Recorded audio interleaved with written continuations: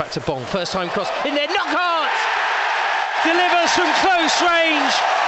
He couldn't really miss, but he looks to the skies. Knockaert scores, and the Seagulls lead by a goal to nil. Seagulls Player HD.